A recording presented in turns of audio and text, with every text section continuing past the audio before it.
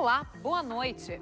Um novo alento. A Assembleia aprova financiamento para o 13º salário dos servidores na rede bancária.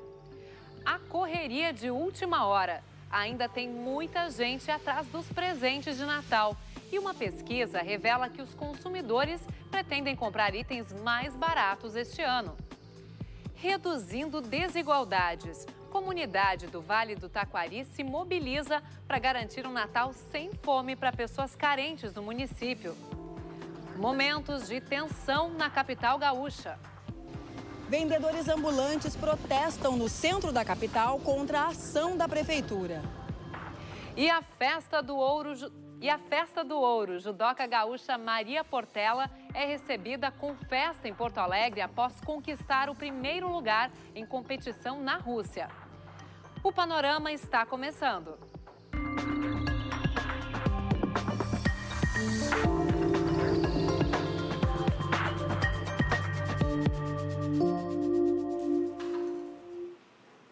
Natal é uma data que remete à paz e união entre as pessoas. Mas a realidade nem sempre é assim. Muita gente sofre com a correria dessa época do ano, como mostra a matéria da repórter Lisele Félix.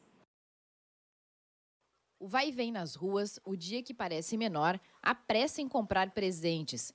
Em dezembro, tudo acumula e a proximidade do Natal deixa a rotina ainda mais intensa. Fica tão puxado que às vezes o cansaço vence. E os motivos para se sentir sobrecarregado são bem semelhantes. As contas, os gastos, né? Na crise que a gente está, está bem complicado. É o trabalho que no final do ano sempre aperta um pouco antes das férias e tal. Mas os compromissos de Natal, é... a minha família tem muito aniversário final de ano, é... junto com o Natal é aniversário, enfim, é isso que me acumula tudo daí no fim. O movimento, né, como a gente trabalha sempre na rua para cima e para baixo, do dia a dia do centro, ainda mais que aqui é correria, né? Mas é mais o trabalho mesmo em si. Uma pesquisa da Associação Internacional que estuda o estresse mostrou que, quando comparado aos outros meses do ano, em dezembro, o nível de tensão é 75% maior. Tem que fazer várias coisas: é compras, é presente, é um monte de coisa e a gente não tem tempo. O tempo é muito curto, aí tem que estar correndo. Envolve trabalho, envolve tudo, porque a gente tem comércio, então é correria. Para nós, folga hoje, agora só depois do ano novo. É bastante corrida. Até o pequeno Fred percebe o estresse de quem organiza a casa. A mamãe, pai, irmão, toda a família. O final de ano é o momento em que tradicionalmente se faz um balanço de perdas e ganhos. Por isso, mesmo com tantas coisas por fazer, é importante reservar um tempo, refletir e observar como se pode melhorar e como romper com repetições que não resultam no esperado. A maioria tem essa expectativa de que as coisas vão se resolver. Quem foi se trabalhando ao longo do ano lida melhor. Né? Mas bom, então se a, se a queixa vem tão intensa que nos faz sofrer, então que a gente transforme essa queixa numa demanda de o que, que eu preciso fazer para ser mais feliz, para ser uh, razoavelmente feliz dentro das condições que a gente está, buscando novos rumos, novos relacionamentos e escutando e sendo escutado. E faltando poucos dias aí para o Natal, muitos consumidores ainda estão em busca dos presentes. Com a crise afetando a economia, alguns mantêm o pessimismo dos últimos anos, mas outros já estão mais empolgados. Pesquisa, 63% dos consumidores estão animados com o Natal. A gente está segurando um pouquinho, né? Tá, sim. Mas acho que vai ser melhor que ano passado ainda. Eu acho que o carinho tá maior. Eu acho que é mais lembrancinhas, mais lembranças da gente lembrar da pessoa, comprar uma lembrancinha, dar aquele abração. Eu acho que a crise veio para para melhorar. Por outro lado, 10% dizem que as coisas não são bem assim. Ah, eu não sei, é porque eu me aposentei em dia 1 de fevereiro e a grana baixa, né? Diminui e as coisas sobem, o salário não aumenta, sou funcionária pública federal. E aí a coisa fica meio difícil, né? O Papai Noel dessa vez está meio devagar, sabe? A situação está meio complicada, né? A gente não está ganhando o que era para ganhar que as pessoas que estão na rua, que precisam do Natal, não tem Natal.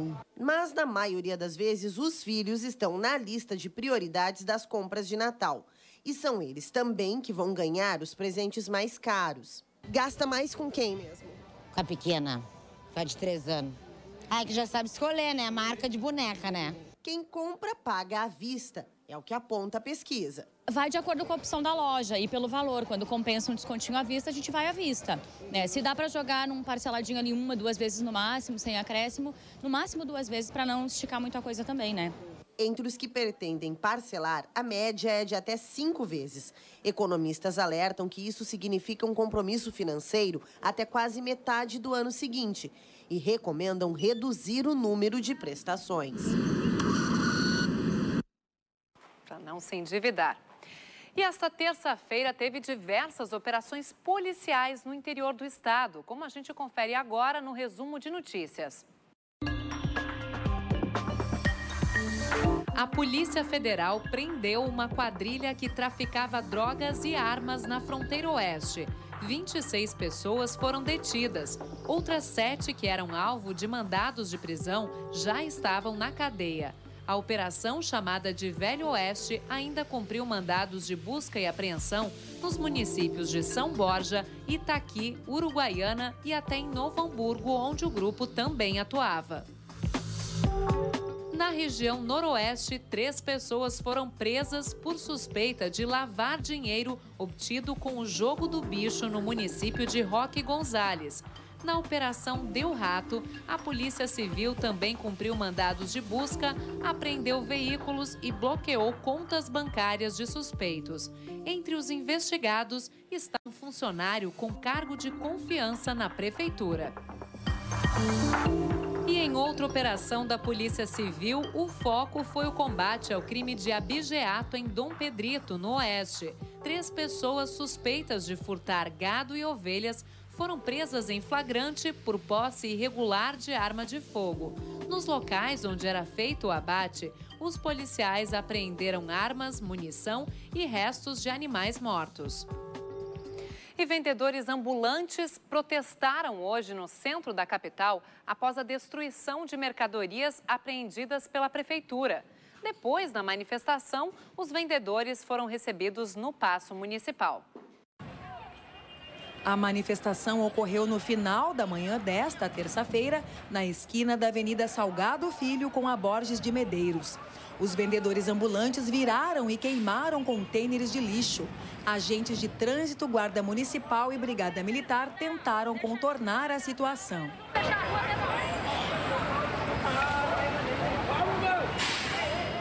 No começo da tarde, alguns manifestantes se dirigiram até o Paço Municipal para reivindicar uma audiência com o prefeito Nelson Marquesan Júnior. A operação realizada a poucos dias do Natal, período em que os ambulantes mais vendem seus produtos, deixou os trabalhadores descontentes. É um prejuízo porque eles deixam a gente trabalhar o ano todo. Correm atrás de nós como se a gente fosse bandido. Uh, acho que é uma coisa que não precisa chegar da forma que eles chegam, entendeu?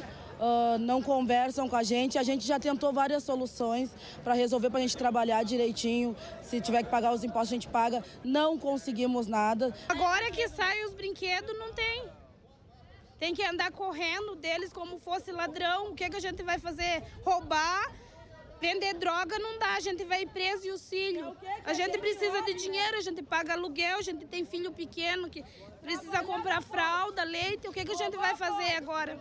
Eles foram recebidos pelo secretário de Segurança Kleber Senice, que se comprometeu a manter o diálogo em busca de uma solução. Eles começarão a se reunir para criar uma estratégia, criar uma dinâmica para que exista uma regularização e que o comércio popular ele fique cada vez mais forte. Nós temos que trabalhar para que Porto Alegre ela não tenha essa situação que nós estávamos vivendo das ruas não ter condições mais mais de trafegabilidade pelo pedestre. Ambulantes regularizados também reclamaram da demora na renovação de alvarás. Eles me deram uma autorização, me tiraram da rua, me deram uma licença para me trabalhar. Daí eu cheguei lá na SMIC de manhã cedo para falar com o secretário Gilberto Simões e ele falou que o prefeito não está autorizando renovar o alvará de ninguém agora, essa autorização de 60 dias. Né? E daí eu vou ter que voltar para a rua de novo. Muitas pessoas que estão com alvarás em dia estão comercializando seus produtos dentro do quadrilátero central, local que não é permitido comercializar esses produtos. Então, este trabalho é um trabalho em conjunto, prefeitura, comunidade, comerciantes, é, populares para que a gente resolva o problema e todos ganhem. Na sexta-feira, dia 22, será realizado um novo encontro entre prefeitura e vendedores ambulantes. Também em Porto Alegre, as inscrições para médico de saúde da família foram prorrogadas até o dia 26 de dezembro. O contrato é temporário e a carga horária de 20 a 40 horas semanais. As inscrições podem ser feitas pela internet, você vê aí no site da Prefeitura. O assunto agora é a festa de navegantes, que é uma das mais tradicionais de Porto Alegre e está precisando de ajuda. Sem recursos externos, a organização partiu para a busca de apoio na internet. A peregrinação da Santa pelas paróquias começa no dia 30 de dezembro. Sem o aporte financeiro de empresas e do governo, a organização da festa de Nossa Senhora dos Navegantes vai apelar para o mesmo recurso de muitos produtores culturais. O site de financiamento coletivo vaquinha.com.br. A estrutura temporária montada para a realização da festa tem um custo aproximado de 200 mil reais. Nessa edição também será comemorado os 50 anos do abrigo Monsenhor Felipe Dio, entidade mantida pela paróquia e que atende 145 pessoas em situação de rua por dia. Nós já tiramos muita gente de uma situação de alta vulnerabilidade. Né? Então, as pessoas que estão auxiliando a festa de Nossa Senhora dos Navegantes estão auxiliando também o abrigo Felipe Dio. Em 2018, a festa completa 143 anos. A imagem peregrina de Nossa Senhora de Navegantes inicia a visitação às paróquias de Porto Alegre já no dia 30 de dezembro. Para também chamar os fiéis ao encontro com Maria e também divulgando a festa de navegantes, né? E a partir daí também nos ajudando a que essa festa se difunda cada vez mais e as pessoas possam crescer na devoção Nossa Senhora também. A festa de Nossa Senhora de Navegantes é o primeiro patrimônio imaterial de Porto Alegre. A imagem da santa vai estar na Igreja do Rosário, no centro de Porto Alegre, a partir do dia 21 de janeiro. Ela permanece no local até amanhã do dia 2 de fevereiro, quando segue em procissão até o Santuário de Navegantes. E ainda nesta edição, comunidade mobilizada para garantir um Natal sem fome aos moradores carentes de Lajeado, no Vale do Taquari. E depois do intervalo, a Assembleia aprova projeto que permite o parcelamento do 13º salário dos servidores estaduais. Nós já voltamos.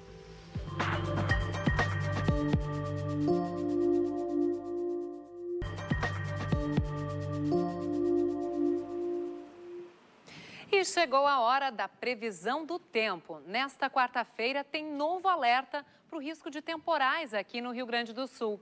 Amanhã deve chover na maior parte do estado. E de acordo com o Instituto Nacional de Meteorologia, a chuva deve ser mais intensa na metade norte. Há risco de queda de granizo e ventos de até 100 km por hora, principalmente no noroeste, norte, serra e região metropolitana. Tempo firme apenas na faixa que vai do oeste até o sul gaúcho, passando pela campanha. E as temperaturas variam bastante. Na capital e em Cruz Alta, a máxima prevista é de 28 graus. Já em Uruguaiana, o sol aparece mais e faz calor de 34 graus. Depois das informações do tempo, notícias da agricultura. Novas obras no Parque de Exposições Assis Brasil, em Esteio, já têm recursos assegurados. Eles devem garantir mais espaço nas próximas edições da Expo Inter. A informação é do secretário estadual da Agricultura, que fez um balanço positivo da feira deste ano.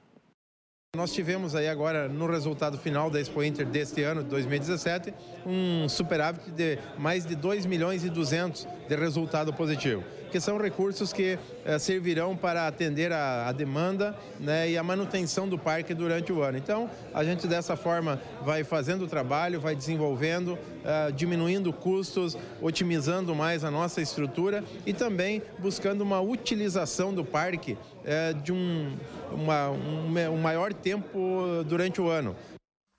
Menos hoje.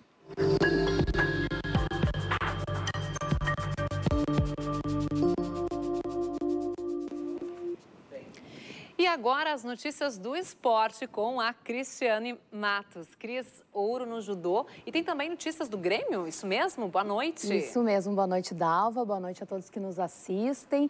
Nós temos um destaque bem legal sobre o judô, mas antes vamos falar um pouquinho do futebol. Porque o Grêmio iniciou hoje reuniões com representantes do Renato Portaluppi para renovar aí com o treinador por mais uma ou até quem sabe duas temporadas. O empresário dele, o Gelson Oldenburg, o gauchinho, já está aqui no Rio Grande do Sul. Ele vai passar as festas de final de ano por aqui e vai se reunir ainda hoje com o vice de futebol gremista Odorico Roman e também com o diretor executivo André Zanota.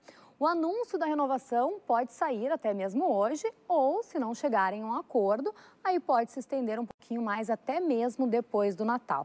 E falando ainda de Grêmio, o centroavante Lucas Barrios se despediu oficialmente hoje da torcida do Grêmio, postou uma mensagem no seu Twitter agradecendo a todo o carinho dos torcedores e dizendo que realmente não permanece para o ano que vem. Agora sim, o destaque é a judoca gaúcha Maria Portela, porque ela foi recebida hoje aqui em clima de festa no retorno a Porto Alegre. Porque no domingo, Dalva, a atleta da Sojipa conquistou a medalha de ouro na categoria 70 quilos no Masters de São Petersburgo, lá na Rússia. E essa competição é uma das mais importantes do circuito mundial da modalidade. Vamos conferir. A gente não está com essa matéria pronta. Na sequência, vamos ver então essa chegada, essa recepção da judoca gaúcha, que fez bonito lá na Rússia, né, Cris? Cris, que todo dia vem trazendo aqui as notícias do esporte. Por hora, então, muito obrigada pela participação. Até amanhã, até a próxima, Cris. Muito obrigada, Dalva. Até amanhã, então. Daqui a pouquinho a gente confere a chegada da Maria. E depois do intervalo, tem um Natal mais alegre para a comunidade carente de Lajeado, no Vale do Taquari. Conheça também o trabalho de duas instituições para melhorar a vida de quem tem alguma deficiência. A gente já volta.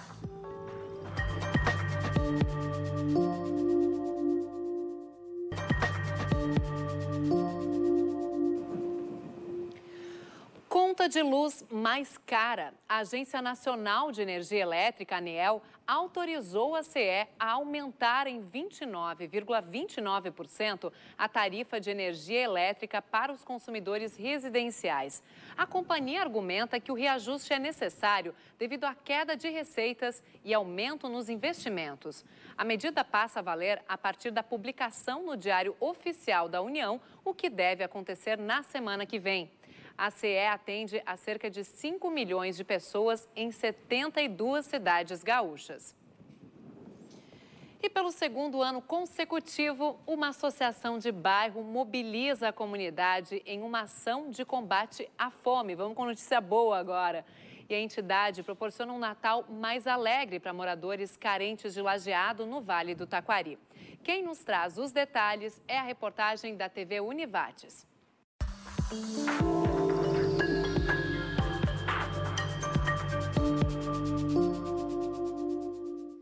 Ajudar na ceia de Natal de famílias carentes vinculadas à Associação Simão Bolívar do bairro Santo Antônio. Proposta da campanha Natal Sem Fome. 36 famílias devem ser beneficiadas com a iniciativa organizada pela presidente da associação. Acho que cada um de nós temos algo para doar, né? Todos nós temos algo para doar. É uma data especial porque a felicidade nós não queremos só para nós. Nós queremos para todos, né?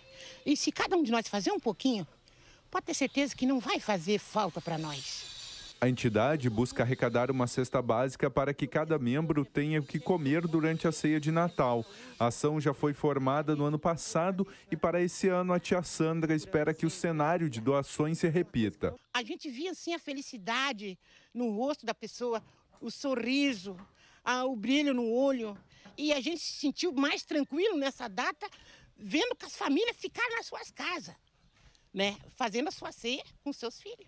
Para quem deseja ajudar, a entrega dos alimentos pode ser feita na sede da associação, que fica na rua República dos Palmares, número 459, no bairro Santo Antônio. E no mês dedicado às pessoas com deficiência, a constatação de que, apesar dos avanços na legislação brasileira, ainda são muitos os caminhos a percorrer para reduzir o preconceito. No quadro Cidadania de hoje, o trabalho de duas instituições que lutam por mais inclusão.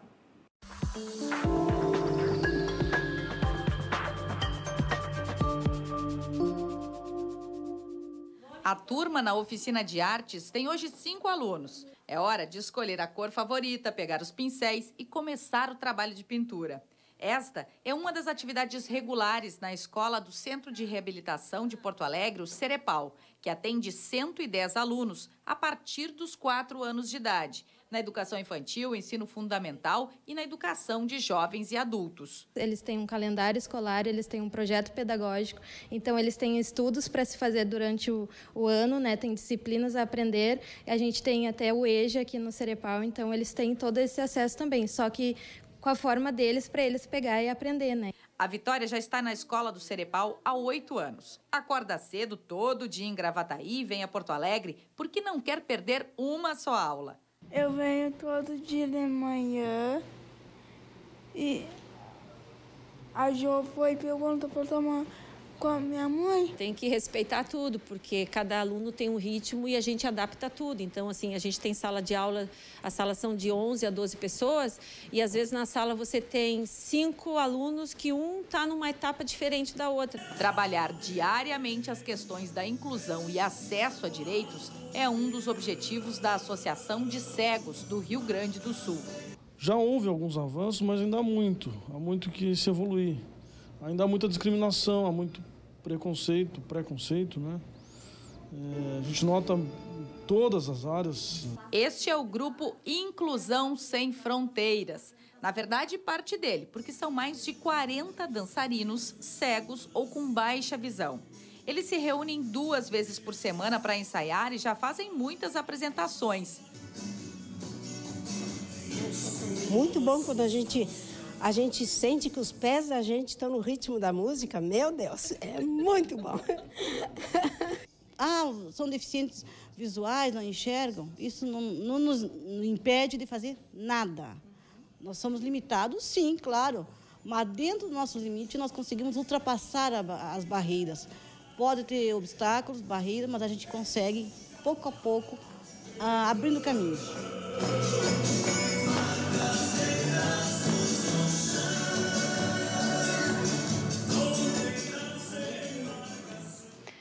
E a Justiça suspendeu as demissões no Centro Universitário Uniriter, em Porto Alegre. A ação, movida pelos sindicatos dos professores do ensino privado do Rio Grande do Sul, conseguiu evitar a dispensa de 128 professores, anunciada na semana passada. Uma audiência de mediação ficou marcada para o dia 8 de fevereiro, na 26ª Vara do Trabalho, aqui na capital. A decisão judicial leva em conta a necessidade de negociação coletiva entre as partes, no caso de demissões em massa, com o objetivo de reduzir o impacto social e a necessidade dos trabalhadores. E agora a novidade sobre o 13º salário dos servidores estaduais. Na última semana, antes do recesso parlamentar, a Assembleia aprovou o projeto que permite o pagamento do décimo por meio de empréstimo na rede bancária. Veja na reportagem de Felipe Prestes. O projeto foi aprovado por 51 votos favoráveis e um contrário. Pela proposta, os servidores poderão fazer um empréstimo no valor do seu 13º. A quitação da dívida, bem como dos juros decorrentes dela, será feita pelo governo do estado. O governo optou por, é, mesmo que incorra num gasto de juros, a qual se deverá ser pago pelo estado diretamente aos servidores, é, não onerar ainda mais os servidores na medida em que, se não fosse isso, não haveria recurso para pagar o seu 13º em dia. Os servidores que não quiserem contrair o empréstimo receberão o 13º em 12 parcelas. Ou seja, o 13º de 2017 só será completo lá no final de 2018. O pagamento terá uma correção monetária de 1,42% ao mês. A oposição aprovou a proposta, mas mesmo assim subiu à tribuna para criticar o governo. Não temos alternativa aqui. Ou nós uh, aprovamos a possibilidade, ou os servidores sequer recebem. Então, pelo menos vão receber. Mas fica a discussão e vai continuar sobre como será o pagamento do Banrisul em relação a esse valor. O maior sindicato de servidores estaduais também apoiou a aprovação do projeto, mas sem deixar de criticar o Piratini. Nós avaliamos que entre receber em 12 vezes e ser obrigado a fazer o empréstimo em nome do governo, a melhor saída seria fazer esse empréstimo que tu recebe todo o teu salário em dia. Os empréstimos devem começar a ser feitos a partir de amanhã, data limite para o pagamento do 13º. E agora sim a gente mostra como foi a chegada da judoca gaúcha Maria Portela Porto Alegre depois de vencer um dos, um dos torneios mais importantes para o judô mundial lá na Rússia. Vamos conferir? 30 horas de viagem de São Petersburgo, na Rússia, para Porto Alegre. Cansaço? Sim. Mas antes disto, felicidade. Maria Portela exibe no peito a medalha de ouro do World Masters na categoria 70 quilos. Foram quatro vitórias num torneio onde participam as 16 melhores judocas do mundo. Cruzei primeiro com a atleta do Uzbequistão, depois a austríaca, a sueca e fiz a final com a croata. Uh, foi um dia perfeito, foi deu tudo certo. Uh, lutei direitinho. Pulou da oitava para a segunda colocação no ranking mundial. É, somei 1.800 pontos e renova as energias, né? Começar o ano que vem em segundo do ranking é muito bom. Agora serão alguns dias de férias, mas com foco certeiro para 2018. Minha medalha no Campeonato Mundial, eu estou trabalhando bastante para isso. Estou é, pensando a cada ano, mas de 2018. 2017 chegou bem próximo, perdi na repescagem, mas 2018 ela vem. E assim nós encerramos o panorama de hoje. Até amanhã, uma boa noite para você.